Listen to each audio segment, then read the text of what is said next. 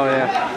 Yeah, we, we have a couple of them. 25 yards out, back to goal, plays it off to Fitton, thinking about having a shot there, so play to Biander on the right hand side, loses footing, gets past his man though, he's into the penalty area now, plays it towards the penalty spot, shot comes in, yeah!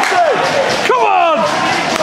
First goal for the club there, 18 minutes into the second half, and this game is 90, it? It's been a great second half, this one.